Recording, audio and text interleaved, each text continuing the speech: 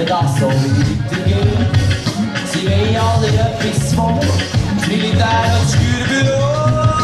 Schon sie haben Brandlöcher heim ins Alltag bekommen. Dann heisst in ihren Stammbett, du zahlst mir noch ein Bier.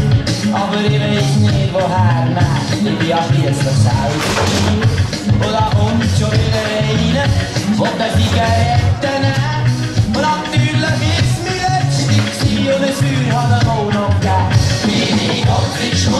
Kiosk oder bin ich eine Bank?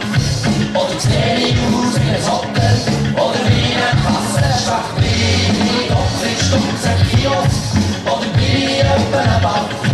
Oder sehe ich aus wie ein Hotel oder wie ein Kassenschrank?